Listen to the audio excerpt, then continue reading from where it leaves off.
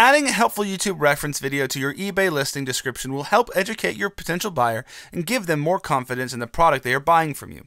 Unfortunately, eBay doesn't allow YouTube's iframe embedding code, so you'll need something else. Luckily, you can take your YouTube video link to flippertools.com and their video embedding tool will make the code for you. Link in description. After pasting the link into the tool, it will generate your custom HTML code. Copy that code and edit your eBay listing. Scroll down to the description editor and select HTML, paste the code into the box and preview your listing and it should appear like this.